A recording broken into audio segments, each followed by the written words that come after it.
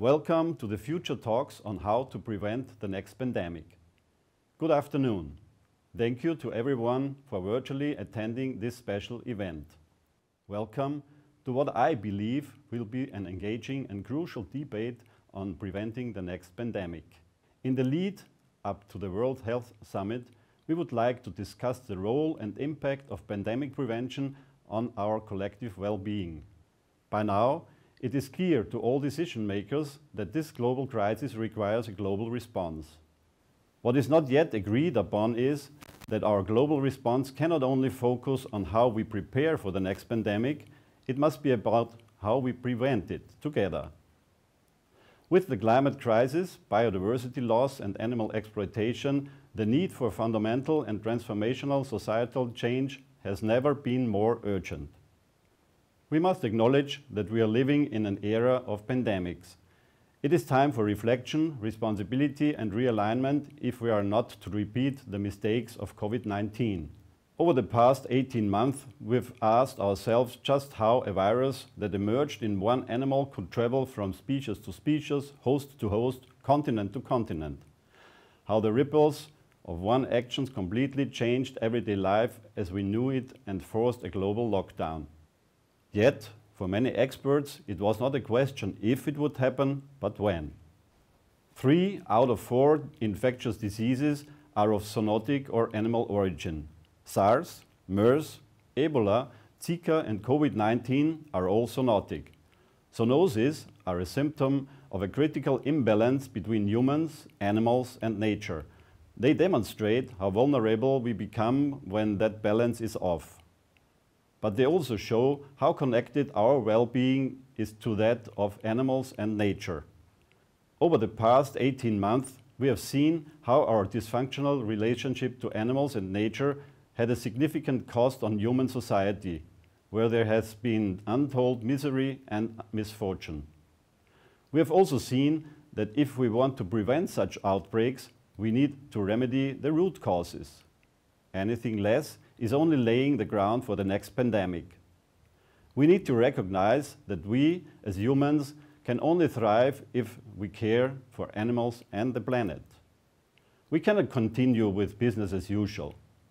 We need to act immediately. Time is not on our side and technology and preparedness alone wouldn't be the cure. So, what comes next? When primary forests are cleared to expand intensive farming, wild habitats are destroyed and biodiversity is decimated. This leads to pathogens in wild animals increasing and evolving faster, which mutate quicker and in the end jump to humans, as in the case of the new coronavirus. When cats and dogs are slaughtered for their meat and when wild animals are traded in markets, humans find themselves exposed to some of the most dangerous pathogens. And who would have thought that fur farms, where minks and foxes and so many other animals are skinned for their fur, would be the breeding ground for COVID-19 mutations that would reinfect humans. It is sobering that it took a pandemic for everyone to understand how scientists have warned us about and what was always plain to see. When animals suffer, we suffer. We stand at a crossroad right now. In four days, the global health community and leaders will meet at the World Health Summit to address the most pressing health issues and outline path forward. This is an ideal opportunity to chart a new direction. The key questions that we need to answer post-pandemic are still the ones we asked before. What kind of society do we want to be? What kind of future will we leave to future generations? What priorities do we set? But the wider question has to be, how can this be done at the political level? What are the necessary political measures that need to be taken? The Four Paws Future Study will be published tomorrow. It includes valuable insights on likely versus necessary pathways beyond this pandemic for 29 renowned experts their disciplines include virology, veterinary medicine, agriculture, climate, economy, law and philosophy. The study underscores that health should be addressed in a more holistic and interdisciplinary way. And that if we make animal welfare a central part of pandemic prevention plans, the risk of the next pandemic breaking out will decrease. It also highlights that when high level of better animal welfare are implemented and regulated, all aspects of human life, well-being, the economy and the environment are better off. While this is a moral and health issue at its core, it makes economic sense as well. So let me conclude by saying that a global pandemic strategy must ensure that prevention is its very core. But prevention cannot exist without animal welfare. This is at the heart of what we do at Four Paws, so we know full well what opportunities must be seized at this critical moment. I'm excited for the discussion to now begin. Please enjoy what I'm sure will be an illuminating next 45 minutes. Thank you.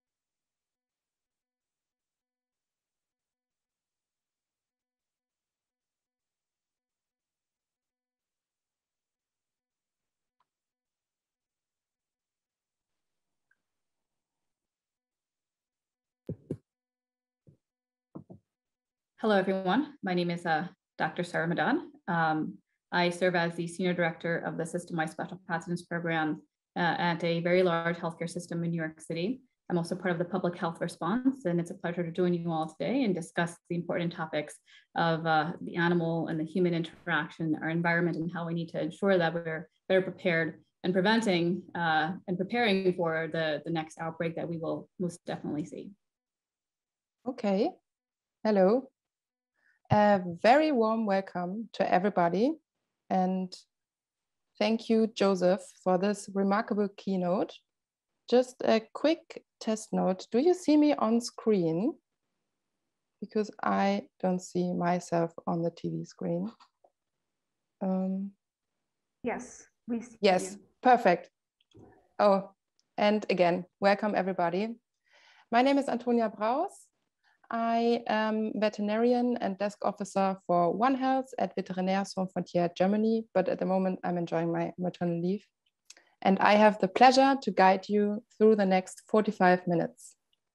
If you don't see the video on full screen, like I do, please click upstairs on event title and a full screen will appear.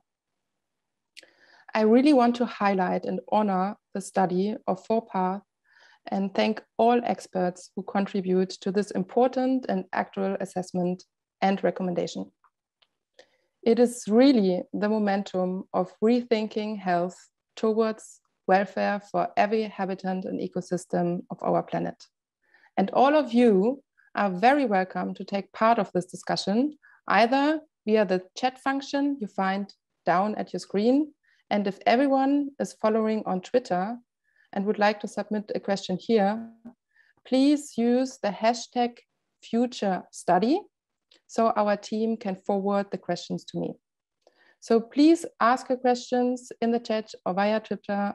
Tell us what your name and background is, and our colleagues will choose just some of the question later on after the panel discussion. Yeah, and the panel, I'm very excited and delighted to introduce our engaged panelists. As we just heard already, Syra Madad. Syra is based in the US. She's a public health expert with a epidemiologic background, which we just heard. And Syra has been featured in two leading documentaries, such as the Netflix series How to Prevent an Outbreak, as well the discovery documentary The Vaccine Conquering COVID.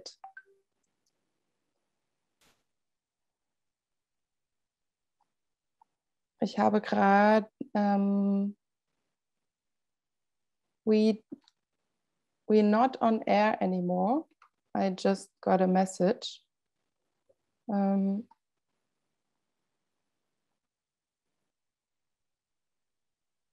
can I go on? Is there no no um, no we need the prompt signal on air yeah okay perfect yeah. so i go further with mia. Mia MacDonald is the executive director and founder of brighter green and is based in new york. She's a public policy analyst and consults a very wide range of ngos kurt Schmidinger is a food scientist founder of Future Food and is working right now at the Research Institute for Ethic and Science in dialogue with the University of Vienna. Syra, Mia, and Kurt were involved as experts in the study. Nina Jamal is the representative, uh, representative of Four Paws tonight, and she is the international head of farm animals and nutrition campaigns and a pandemic and animal welfare expert. Last but not least, Mark, Mark Jones, he's a British veterinarian with various qualification in aquatic and wild animal health and wildlife rescue and rehabilitation, and since 2014, head of policy at Born Free Foundation. So my first question is for you, Mark, as a veterinarian with your experience, what would you say? What are the ingredients and habits that takes us from business as usual to a pandemic? What's wrong with the system? Mm -hmm. Well, thank you very much. Uh, I hope you can hear me okay. Yes. Yeah. Um, first of all, thank you very much for inviting me onto this panel. Thank you to our friends and colleagues at Four Paws for coordinating this really important and timely event. Um, I think the COVID-19 pandemic, with all its devastating human and economic consequences, seemed to take a lot of decision makers by surprise. Yet, while it has arguably been the most devastating of pandemics in recent times. It's by no means the first zoonosis that's developed into a pandemic. And we already knew a fair amount about the likely sources of potential zoonotic viruses and the kinds of circumstances that can lead to their direct or indirect spillover to people before COVID 19 emerged. So the question is how can the situation have arisen? What should we have done? And what should we do now to prevent something similar or perhaps even worse happening in the future? Um, we're told that there might be 1.7 million viruses circulating in animals and that around half of them could be potentially zoonotic. We're also told that around 70% of all emerging infectious diseases originate from wild animals. So addressing the risks associated with viruses in wild animals would seem to be pretty critical. What we have to remember is that when wild animals are living in their natural environment, in their natural state, the presence of such viruses does not usually lead to clinical disease or significant virus shedding. And the mutation and spillover of these viruses to domestic animals or to people is highly unlikely. It's when we start interacting with and stressing animals that the risks increase. And this can be through the destruction and conversion of habitats, which tends to lead to increases in smaller adaptable species over the larger predators. And these smaller species are often the very species that are most likely to harbor potentially zoonotic pathogens. And it also occurs when animals are captured from the wild or intensively bred, transported for slaughter at markets or in restaurants, often in close proximity to many other animals from many other species, or traded live as pets or photo props, more often in more often than not in pretty appalling conditions. And it's in these circumstances, animal welfare will be compromised, their immune systems will be suppressed, and this makes it much more likely that they will contract or shed or amplified pathogens, increasing the risk to other animals and ultimately to people.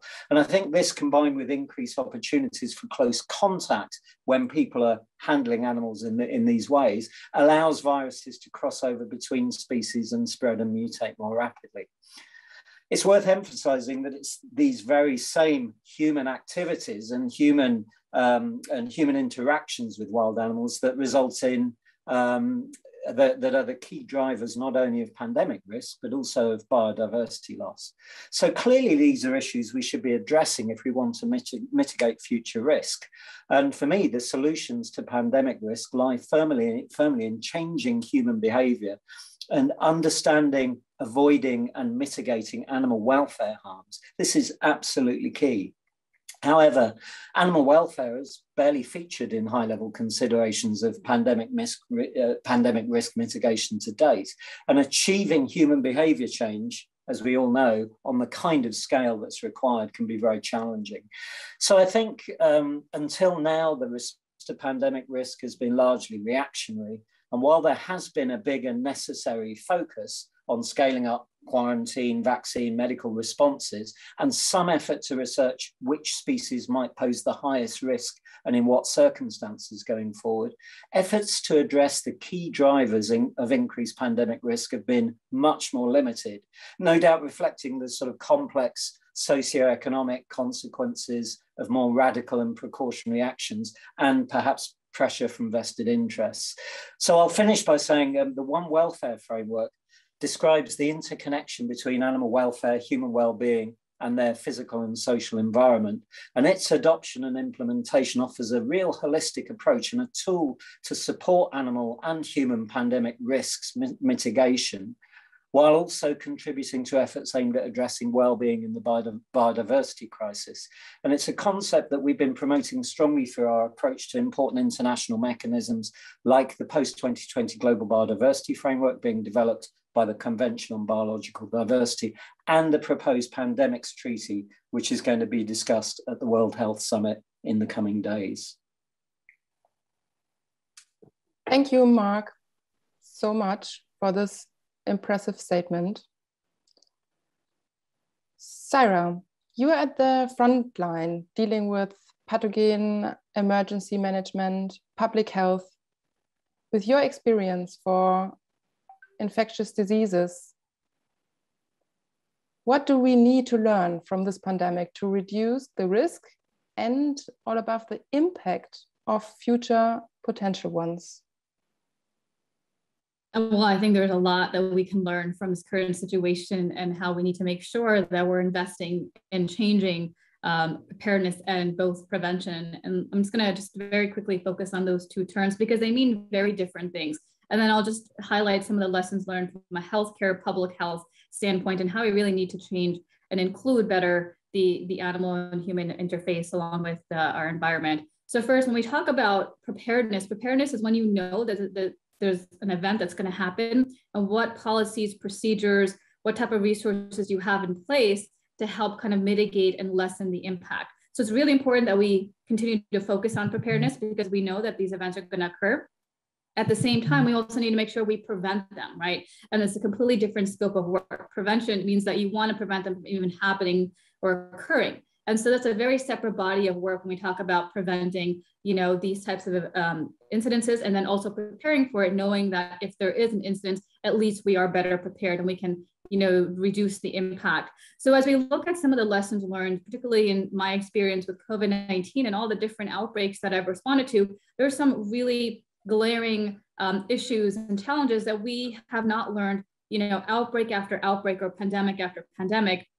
And that is when you look at biopreparedness in a general, you know, realm, it oftentimes only focuses on from a healthcare standpoint, staffing, supply chain, systems, space to accommodate individuals from a public health standpoint, we're still focused on surveillance and monitoring and community engagement. And all of these things are really important. But the one thing that we often miss, we don't talk much about, is that interface of animals and humans and the ecosystems, the behavioral changes, um, and the impact that we have and if we are to really truly protect human health um, and animal health, we really need to start considering human activities, as Mark has mentioned, and the behavior that really disrupts our ecosystems and our habitats and things like that. So we really need to make sure that's also part of the conversation.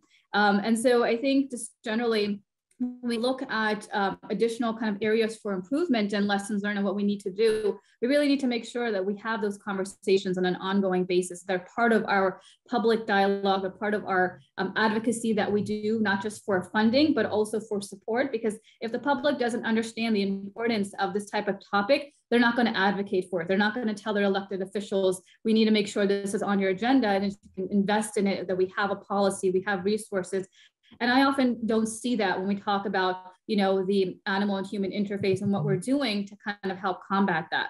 The last thing that I'll mention, and Mark really listed out some really great, you know, different contributing factors uh, that we need to look at.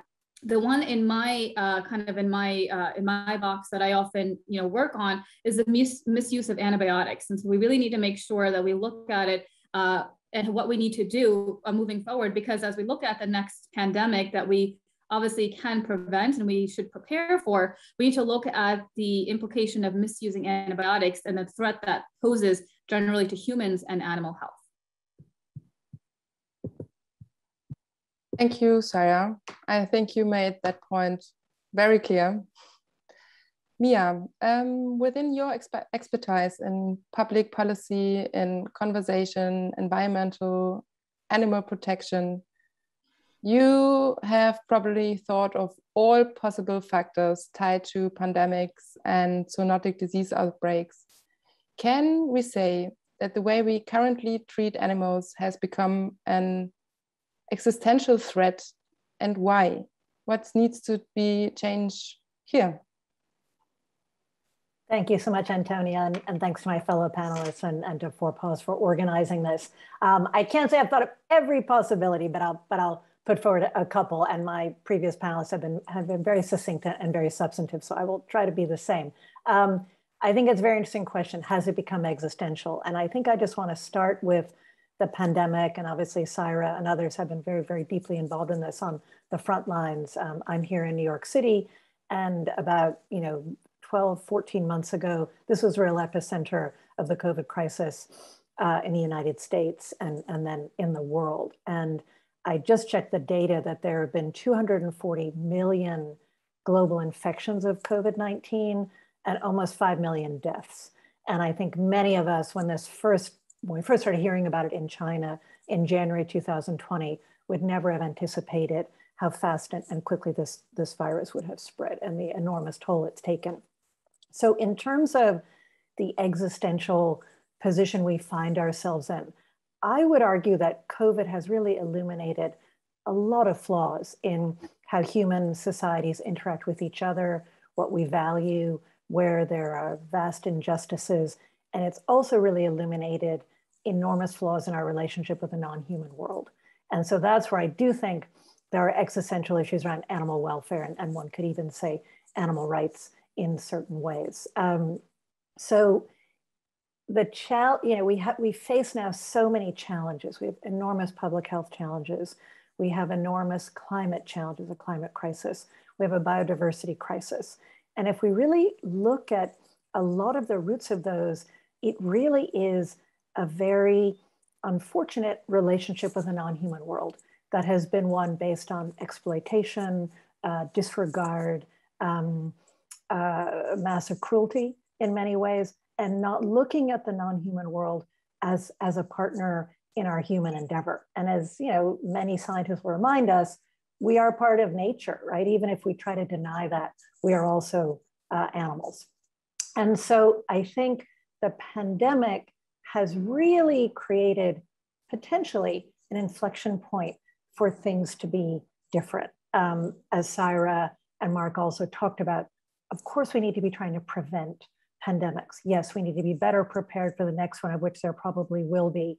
But the prevention aspect and how that does tie to issues of exploiting animals, wildlife trade, uh, loss of habitat.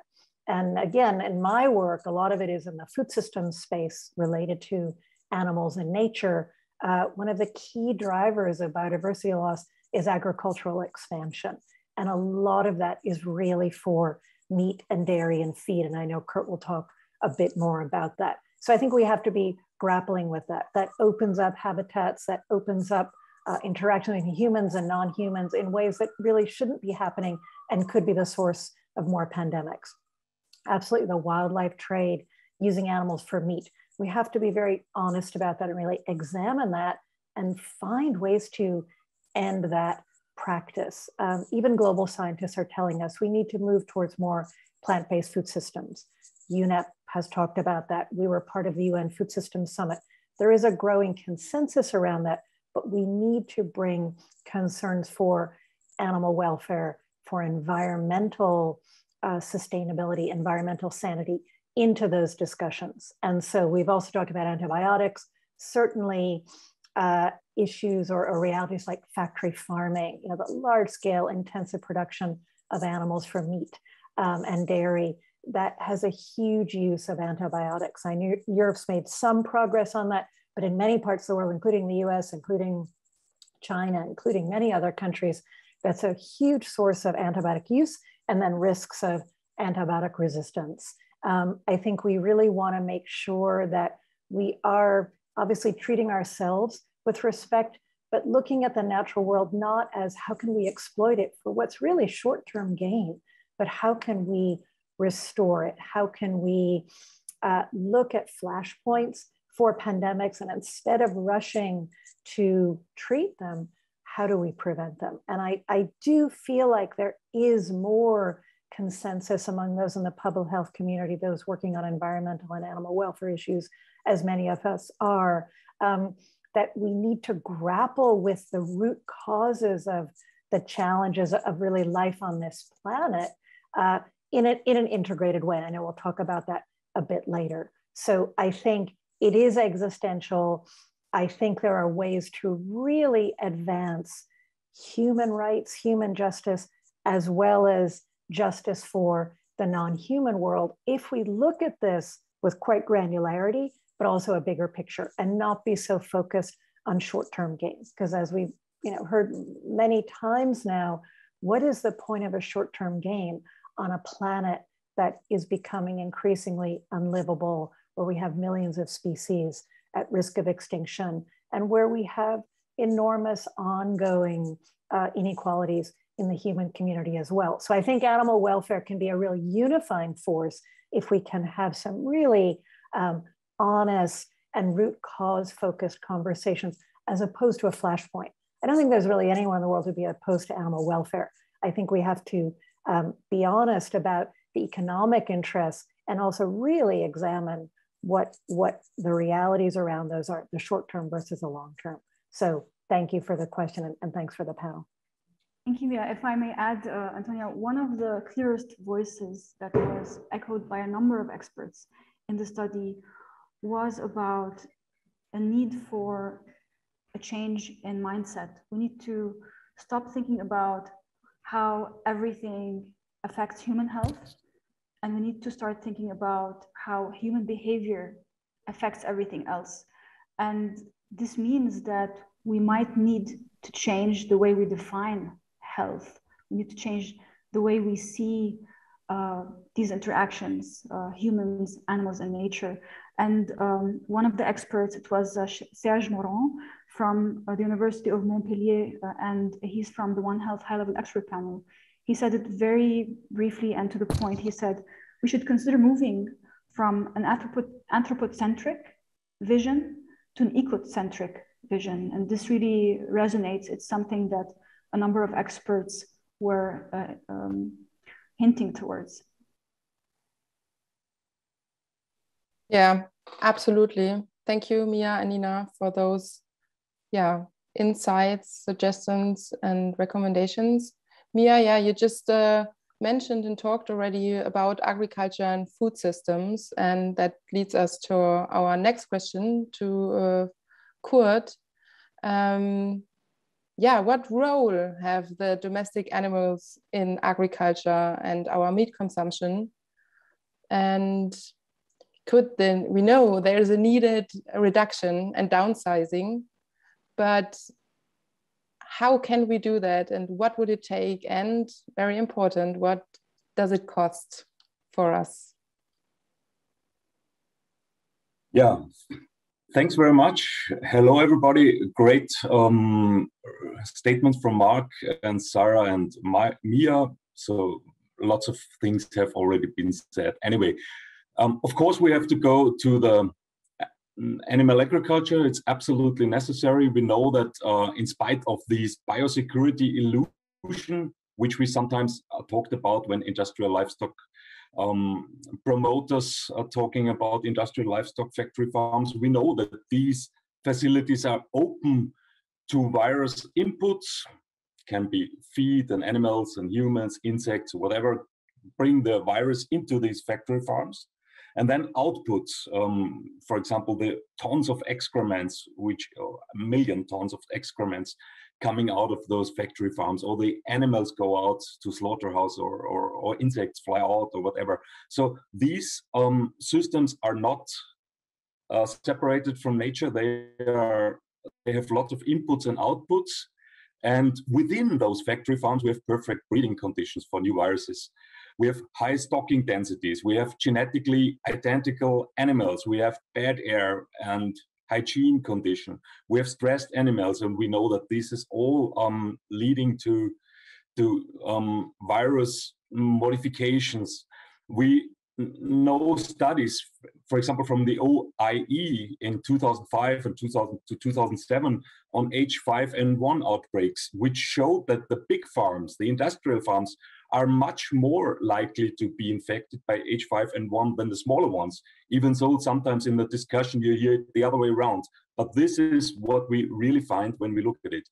Um, we know that um, from the actual pandemic, we know that physical distancing helps us to prevent um, or to, to, to deal with a pandemic. What we have in factory farmings globally with billions of animals is just the very opposite. We these animals are forced to do the ultimate opposite of physical distancing. They are super crowded and cramped together those are the direct effects which uh, lead um, to, to problems from factory farms. We, we've seen that already. I, I remember at the beginning of November, somebody uh, said, okay, mm, can you prove it? And I said, uh, yeah, it happens all the time. But he, he, was very skeptical. And then three days later, the biggest mink industry in the world collapsed from one day to the other.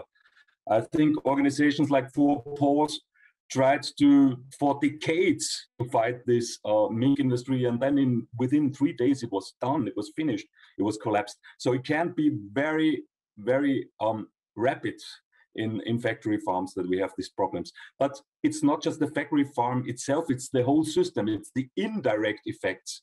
Um, when we when we look at what we what our area demand as humans two thirds of our area demand, uh, if we exclude forestry, two thirds of our area of our area demand is growing animal uh, producing animal products.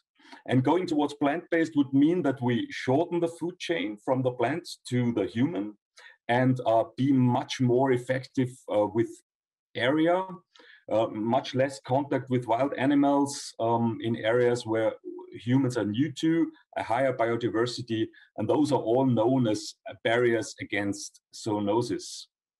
And we also get rid of these wet markets and trade with wild animals. And we, if we do all of that, um, then we are not already on a safe side, but pretty much on a safe side uh, to prevent future pandemics. Um, we could have prevented the epidemics and, and pandemics of in, in the past probably including COVID-19 if we, we wouldn't have um, treated animals the way we did.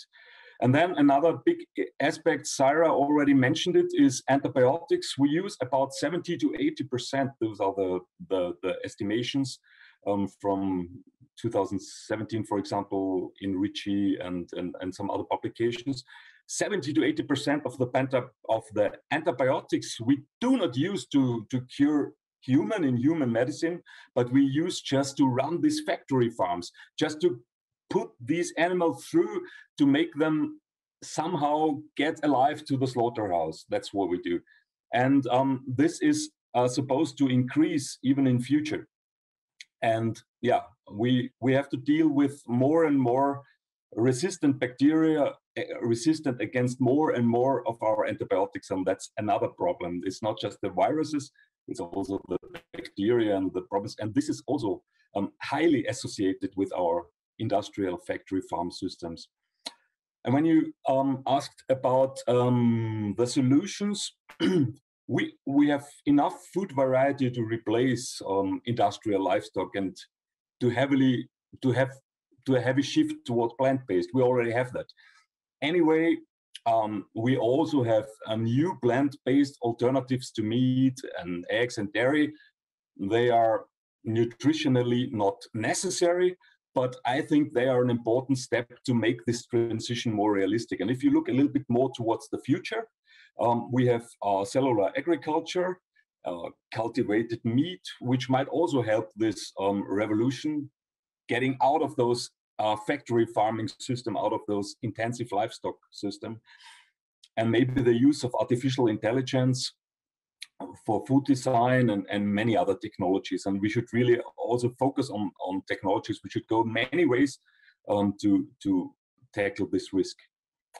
And last question you had is about the costs. Um, would this also be um, cost effective to, to prevent the um, future pandemics? And actually, there is a lack in uh, global research on how much a transition away from industrial livestock to a more extensive livestock production plus a meat and dairy reduction would, on the one hand, cost us, and on the other hand, save us money save us money in, in hotspots like um, lifestyle diseases or climate crisis or antibiotic resistance or pandemics we, we, we have the topic today or also biodiversity loss just to name a few. So doing this um, could um, save more money than um, costing us and i'm pretty sure that such a purely macroeconomic calculation would come up with um, overwhelming results that a transition towards extensive livestock plus a reduction of, of, of animal products um, would not only be ethically and ecologically uh, making sense, but also economically. And such uh, research would be very essential, and funding of this would be very uh, welcome, and that could be a way out of this. Wow, yeah. Thank you, Kurt.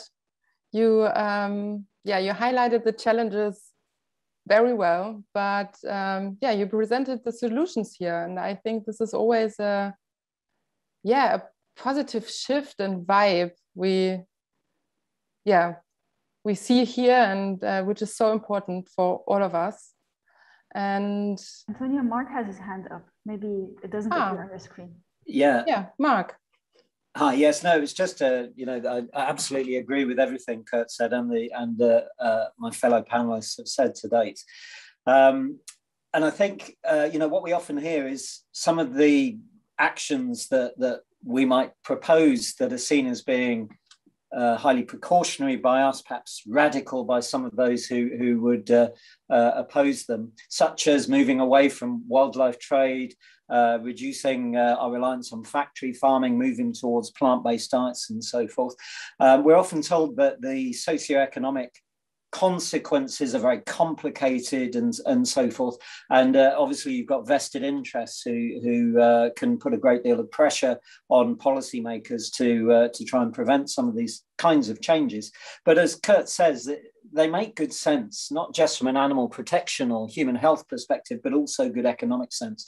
And I just wanted to mention that according to a panel of global scientists, if no action is taken, pandemics are going to happen more often. They're going to spread faster. They're going to kill more people than COVID 19. And ultimately, they're going to cost the global economy more money. And the panel said that the economic cost of the current pandemic is at least a factor of 100 more than the, econo- the estimated cost of preventing it by protecting nature and by uh, introducing some of these changes that, uh, that Kurt has uh, outlined.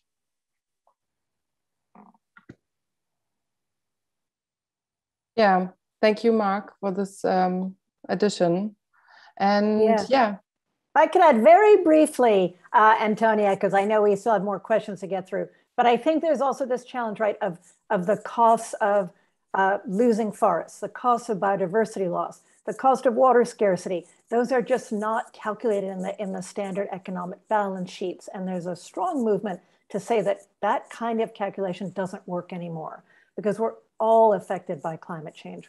We're all affected by biodiversity loss. Of course, there are unequal effects of that as well. And there's a lot of injustice. And that's also why a lot of young climate activists are calling for climate justice as well. But it, it is this unfortunate that, oh, we destroyed a forest, that affects weather, that affects habitat, that affects a lot of things that are not in this balance sheet that says, oh, these industries are making money. Really, they aren't. And that, that might be a, a topic for another webinar to delve into that more, but thank you.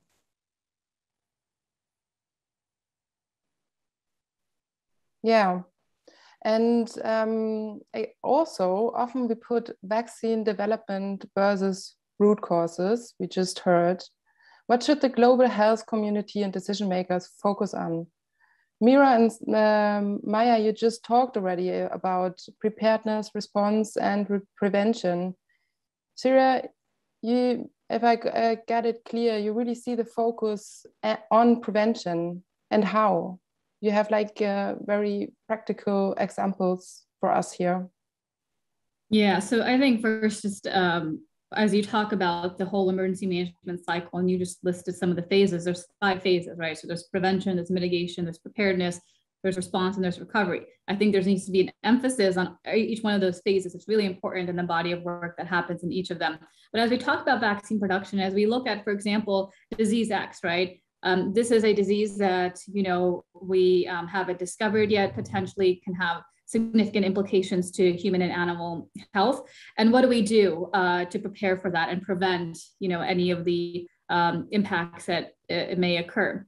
If we look at vaccine development, and it's been very controversial, even with, for example, in the current environment with the COVID 19 pandemic, um, and just highlighting the fact that you know only 6 billion COVID-19 vaccines have been administered around the world, and we're already 10 months into having safe and effective vaccines here in the United States, for example. And so, what can we do to better prevent and prepare for these types of incidences? And there's a couple of things I'll just briefly mention.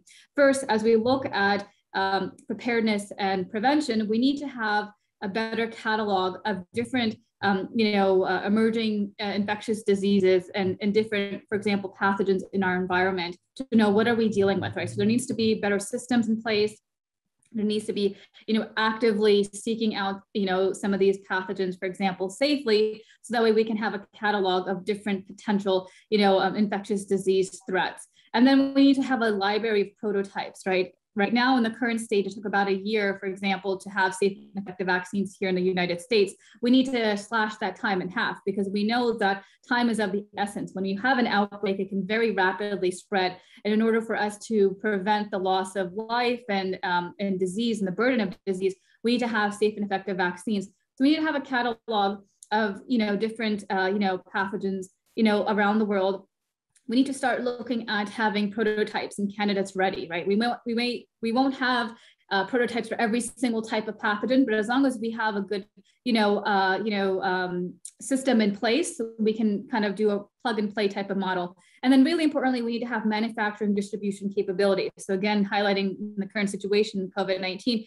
how do we have some of these factories all around the world, we would be able to churn out and produce more vaccines readily for the entire um, you know, population. So when we look at vaccine um, development, there's so much that has to happen, right? Cataloging, developing prototypes and candidates, manufacturing and distribution, all of these things need to really occur in both our preparedness and prevention phases.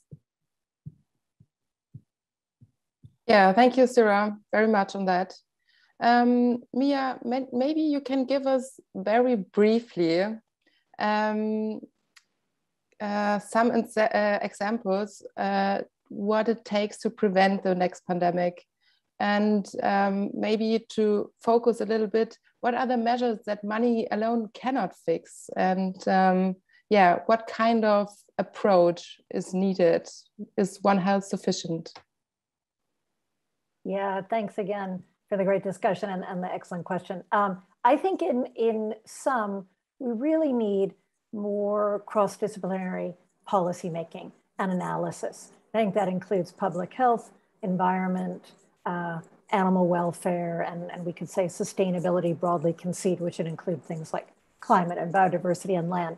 I think that sounds daunting, but I actually don't think it is. I think that the UN Environment Program, WHO, you know, the parts of the UN working on the SDGs, many governments actually see these, you know, uh, multiple crises. They are related, and yet they still are largely treated in silos. You know, you're the environment minister, you don't talk to the agriculture minister. You're the public health minister, that's what you're focused on. And I think what COVID has really shaken up is the need to be looking broadly as well as specifically. Um, so I, I think that's really crucial. And the other thing I would just say is, as we talked about on this panel, One Health, I think is very important. It's obviously a bit better known. but I think we should be moving towards a one welfare approach, right? That, it, that is more inclusive, that is more proactive, that really looks at welfare and well-being of humans and non-humans and move away from a real anthropocentric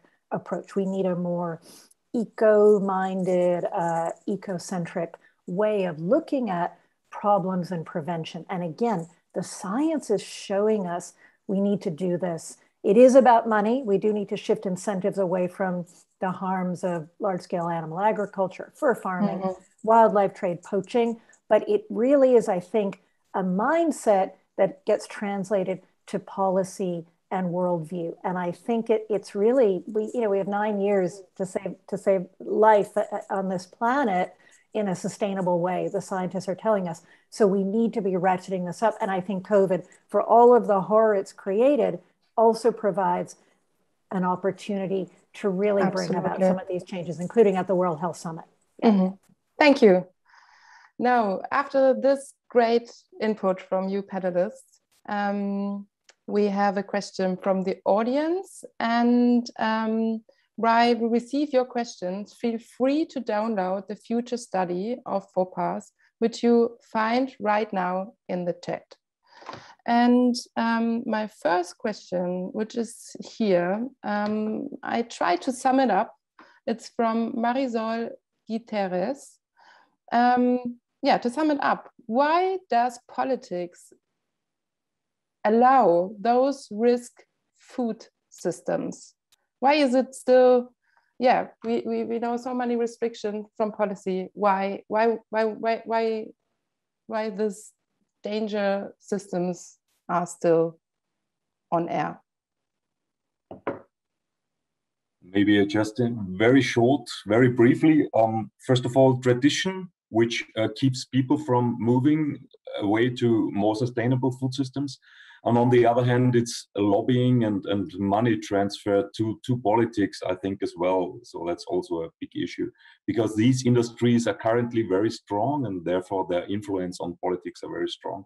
You can see it, for example, when you have these um, in the European Union, for example, when we have this discussion if we if you can uh, call meat alternatives, plant-based meat, meat alternatives, if you can call them burgers or if you do not can cannot call them, or if um, laws are made to prevent that we show um, the reality of what is happening in factory farms to public and people are arrested for that for for this kind of undercover journalism investigation. So it's not not that that the animal welfare breaches are chased, but but just in the opposite, um, that somebody somebody who exposes this um, is um, affected. That's that's the current situation. Nevertheless, I'm optimistic because we have these um, we have these innovations, and we have the big players in food industry also on board on our board. They they are working on on a shift towards plant based and also towards cellular agriculture. So I'm I'm pretty optimistic. And if we don't make it uh, with um, science or if we don't make it with um, yeah, ethics, then we, we are forced by catastrophes. And I think we should avoid that. Yeah, thank you, Kurt. And yeah, we just heard in a few days the global health community are meeting at the World Health Summit and discuss about the biggest challenges tied to human health what would be your message or a brief statement to the audience there? Um, maybe Syra, you may start. So my top line message is that we obviously need to look at the intimate linkage, you know, between health of humans, animals, ecosystems, into biopreparedness and you know bioprevention. Right now, uh, those are bottom level topics. The top line topics have always been, again, healthcare wise, staffing, stuff, space, supply chain, public health, surveillance, monitoring, and the like.